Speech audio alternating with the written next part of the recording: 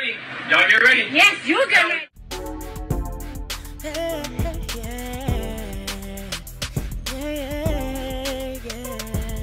If you want the latest news in the streets, join us and tune in for the tea. Breaking news with integrity. So tell your friends and your family. It's the Lovely Tea TV show, bringing you good tea and good vibes. It's the Lovely Tea TV show. Be sure to share, like, and subscribe. Gunplay. I really want to talk about gunplay, then we're gonna work our way down. So if y'all do not know, uh, rapper Gunplay, who used to be signed, he might still be signed, honey, to Rick Ross.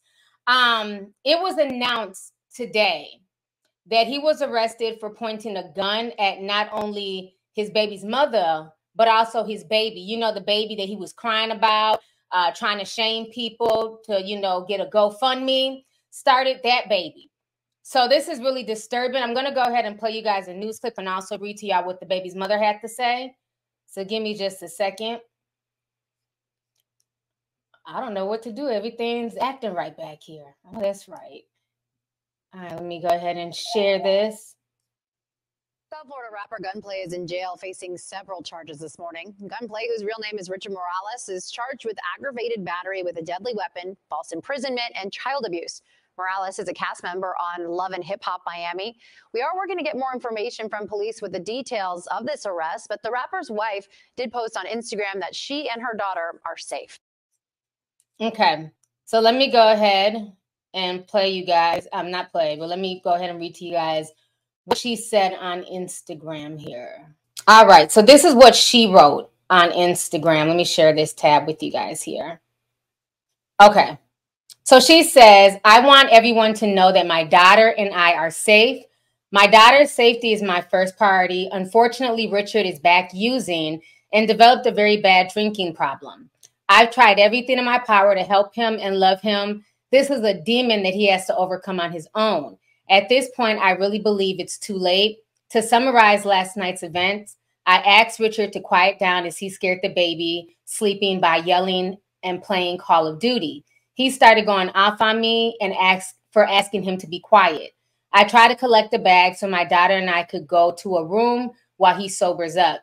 He didn't want us to leave, and things went left fast. He was arrested last night.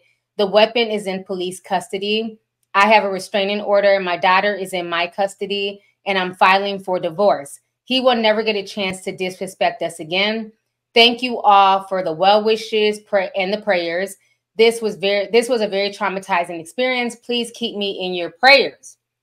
So that is what she had to say about the situation.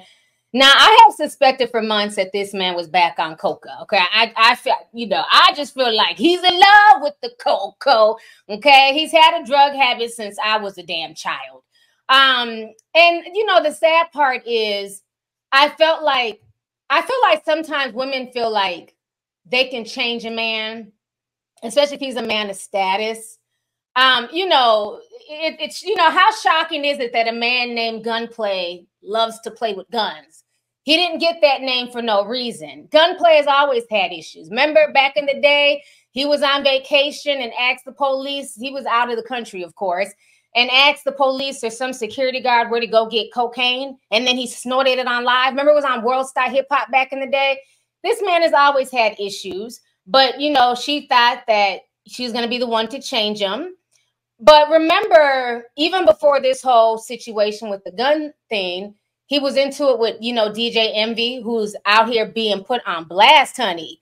They said DJ Envy allegedly is in very, very deep with Caesar Pina. Um, there's a guy named Pocket Watching JT. Shout out to him. There, there's a light skinned dude. I forget his name. He reminds me of, of uh, Rich from Love and Hip Hop. I forget his name. He's light skinned. He been keeping his foot on DJ Envy's neck. Shout out to him. And then Tony the closer. Okay. But before all of that, somebody said, check my volume. Is it too loud? See, now first the volume was too low. Now it's too loud. Turn your volume down because I really don't want to play with it. Do I sound good? Yeah, remember Rich Dollaz, the dude that be keeping his foot on him? He looks like Rich Dollaz, but that's not his name. He's another YouTuber.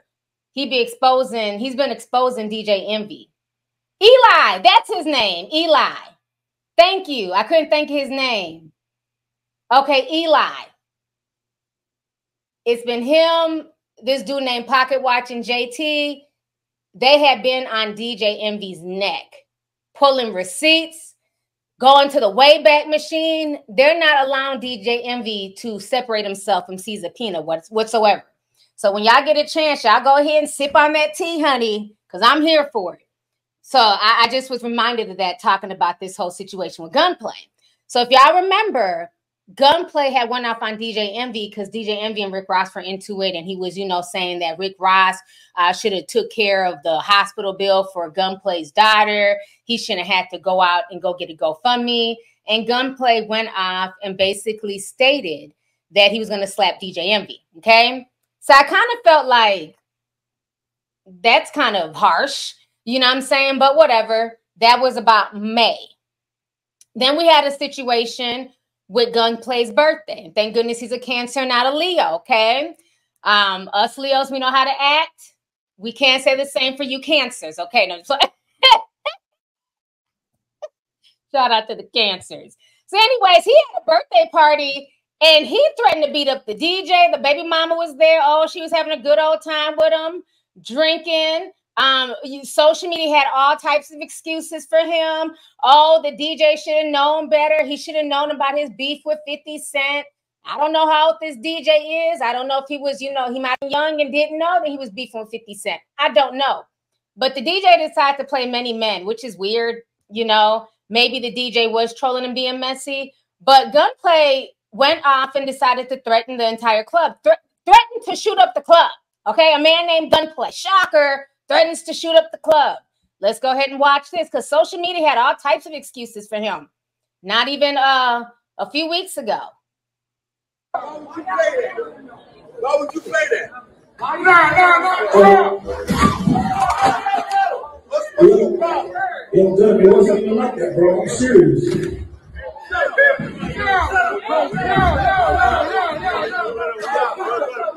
Everybody don't me before I shoot this shit up. I shoot this whole shit up.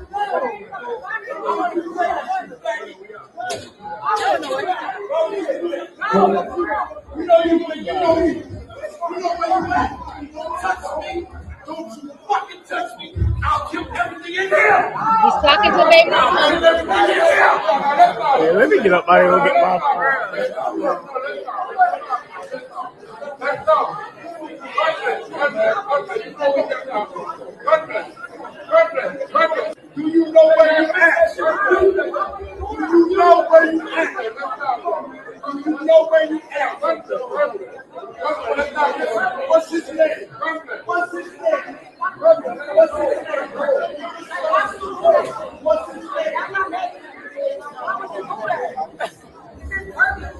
All right, that's enough gunplay for me, okay? So that was him hooping and hollering. Oh, they had every excuse in the shade room. The DJ was foul. He was trolling. He should have known better. Okay, maybe he was trolling. That doesn't excuse him throwing shit up at the DJ and threatening to shoot up the entire club. I only heard one smart person say, Hey, I'm getting out of here. You ain't got to threaten to shoot up the club. But one time with me, he got his black ass out of there. You see the baby mama trying to pull him back. He pushed the hell out of her. So I'm looking at all this like this don't seem like a lovey-dovey relationship, you know, because like you're so mad at the DJ that you about to damn near knock down your wife. But okay, you know, again, social media excusing it. Um, and then we talked about this when he went onto my homeboy's podcast, um, we in Miami, and he was going off on folks. Because remember, he went and he bought Rick Ross a fat ass diamond chain. Like Rick Ross was his baby mama. Got him a fat ass diamond chain. And so this was after people had uh, submitted money to his GoFundMe, right? So him and the wife were on GoFundMe. They started a GoFundMe. They were crying on Instagram, talking about the daughter's medical bills, you know, were very expensive and they need help. So, you know, people who are fans of love and hip hop and fans of gunplay and, and the wife, they all decided to donate. Okay. So everybody went and donated. And then not even a few weeks later, he is like showering Rick Ross with this big ass chain. Very nice chain. It's nice and heavy. Diamonds just glistening. Okay. So you know the fans who donated money, they said, well, hold on now. Something ain't cleaning the buttermilk. I donated a hundred dollars, a thousand dollars, you know, 50 bucks, two dollars to make sure your, your daughter was good. And now a few weeks later, you're gifting Rick Ross with a big ass chain. We know them Love and Hip Hop checks ain't popping like that.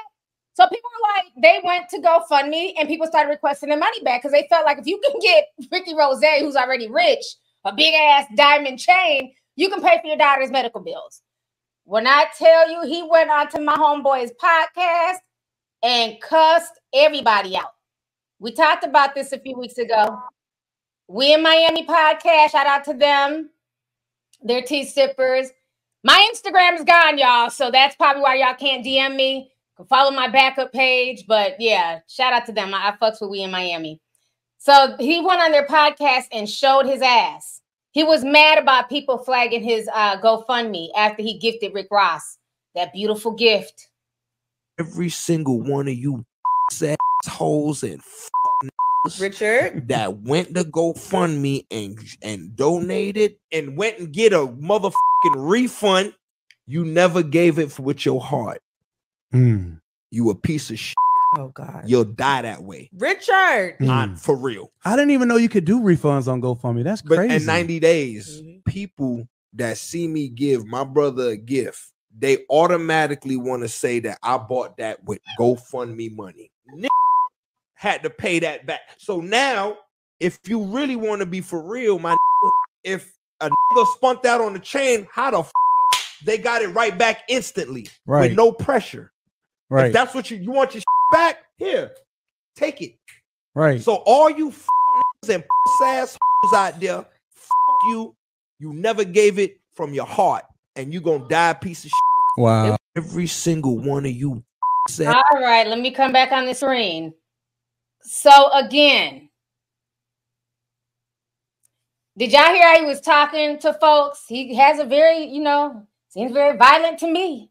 So I'm not shocked at all. You know, the baby mama looked embarrassed as hell. And my thing is, people have the right to go back to GoFundMe and ask for their money back, Richard. Okay.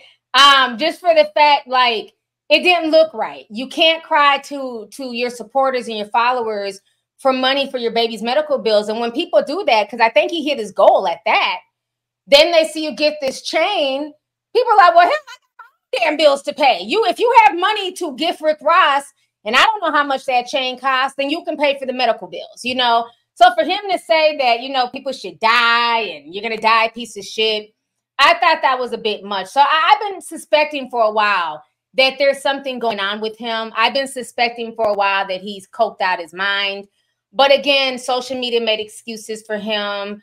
Um, social media loved the fact that he went off on the DJ, but now he's gone off on the baby's mother. And I see a lot of people are clowning her and, you know, almost even blaming her. Um, I do think that she sat idly by for a while because, you know, it was gunplay and she got some type of fame from dating him and she was on Love and Hip Hop. But I will commend her for taking the steps to protect her and her child. That is the most important thing. You know, all jokes aside, at least she went and got a restraining order. She says she's getting a divorce and she's not dealing with this nonsense anymore. So shout out to her for doing that, for, you know, for just taking the correct steps as opposed to trying to make excuses and cover up for him. Um, she's done with it. And I don't blame her. That is a scary situation to have somebody who's drunk or high out their mind pull out a gun on you. You know, how many stories have we heard or read about where guns were pulled out and they accidentally went off? You know, and then to know that he pulled out an AR 15 and pointed it at the child, the child that already has medical issues and has been fighting to survive, you know, these past six months is just heartbreaking. So I just think it's really sad. It- It's sad because I thought he was doing better. He seemed like he was on a better path. He left Love and Hip Hop alone. He got clean. He got with this new woman. They got married. They had the child. And, you know, maybe might be the pressure from Love and Hip Hop, you know, him being under more scrutiny. I don't know. But I think that whatever it is, there's no excuse for pulling out a gun on your wife and on your child, I think that is just just deplorable. You know what I'm saying? So I don't know, brother. I know you're into Santeria. I know you love rocking your Santeria beads, okay? You might need to pray to the ancestors for deliverance because you're doing a bit too much, okay, Mr. Hoodoo Voodoo? You're doing a bit too much gunplay, and I'm gonna need you to do better. Because again, I don't really worry about what adults get into, whatever. But when it comes to children, I don't play about the babies, okay? So you might need to, you know, set up a little altar, fresh water and fruit, something. Because I noticed he ain't been wearing his Santeria beads lately. You know, you wear you're gifting, you know, diamond chains and shit. What happened to the plastic beads? Gunplay. Where are the Santeria beads? Okay. Let me stop. Y'all remember when Gunplay's wear them damn Santeria beads? Hold up, y'all gotta keep receipts. Y'all remember this? This was the old school gunplay when he had them thick ass uh locks, them wicks with them damn sides. Let me show y'all this. Give me just y'all know I keep receipts, honey. You know, I used to be a fan of him and Rick Ross when they first came out. I remember me, my ex-husband, we went to their little concert in Charlotte. That was look at that. Okay. Remember the wicks, honey. But now he done got some fame and Love and Hip Hop. He said he gonna worship a new God now. His new God's diamonds and gold and money. So I don't know. I'm just saying he might need to go back, honey, and you know, go back and speak to the ancestors. You know, ask for deliverance. You know, ask for prayer. You know, the same way you was dabbling in voodoo, so that way you didn't get locked up for life. Remember, you you you skated around a life sentence because of voodoo. You was, you know, what I'm saying, cutting pigeon heads and shit, dabbling, and you know what I mean. He was doing all types of rituals.